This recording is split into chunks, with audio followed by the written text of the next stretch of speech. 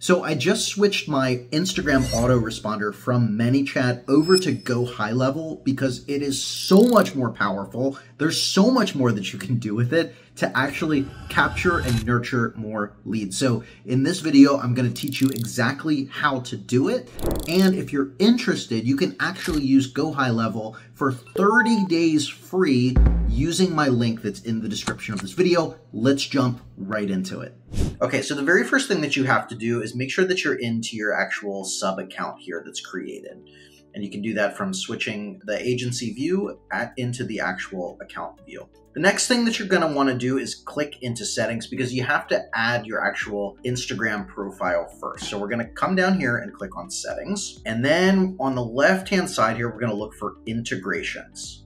Click on integrations and you're going to see all of these options and things that you can connect in here. So I already have mine set up, but you'll see Facebook and Instagram here. And just go through the steps and make sure that you log in, you're connected, and then you have all of your accounts clicked on that you want to capture these for. This is the very uh, most important part here. Uh, because we have to we have to connect your Instagram profile first before we can actually set up the comment automation. So go through those steps, settings, integrations, connect your Instagram profile. Now, the second thing that we're gonna do after you have that set up is come over here to automation. So go ahead and click on automation and you're gonna see some of the workflows that I have set up here. So I already have one set up. Let me show you what this looks like. This is a very simple one, but you can actually do a lot more. So basically when somebody comments on an Instagram post, it's going to respond to that with a particular comment, and then it's going to send them a message with whatever you want. This is easy to set up, so let's build one from scratch. What we're going to do is we're going to create the workflow by pressing this blue button up here. And you can either start from scratch or you can select one of their templates and you can even search for Instagram in here as long as you spell it correctly. You'll see this option here, Instagram comment automation. I'm going to click on that. There's information about how to set it up. I'm just going to click continue. And then it's going to open this up. Now you can click on any of these, and this is where you're going to specify and set all of these things up. So the first thing you want to do is choose a workflow trigger, comment on a post. So we want to respond anytime that somebody comments on a post. Pages, right? And then this is where you select the Instagram profile that you have connected. If you don't have it connected first, nothing is going to show up here. Okay.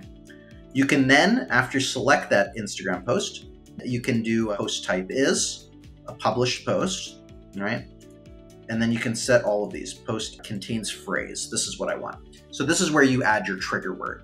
So you can say in your video and in the description of your video, comment the word boom and I'll DM you the link to try it out, something like that. So I'm just gonna add boom in there like so, and then we're gonna save trigger.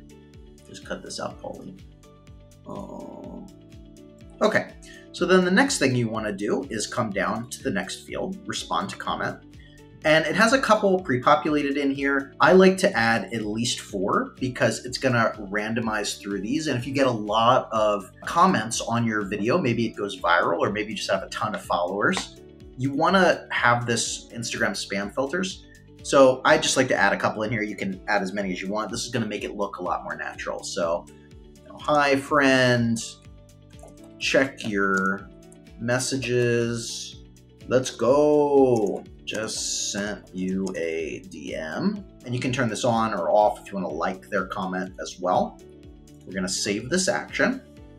And then we can go to this next part, Instagram Messenger. You can reply to the comment via DM. This is the reply type. Okay. And then you can customize this. This is going to be the actual message. You can add this button down here with URL. So let's do add your URL there. Um, syllaby.io. I'm going to get rid of this get checklist thing. Okay. We're going to save that action. And then you can actually test the workflow.